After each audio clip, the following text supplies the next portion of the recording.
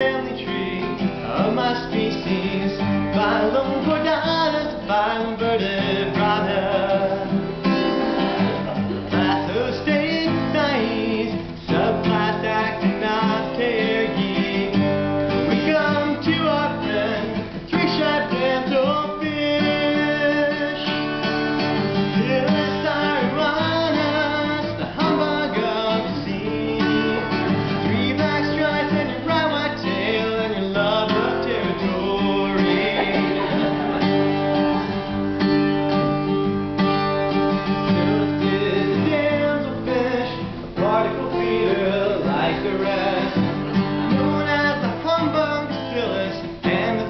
I did.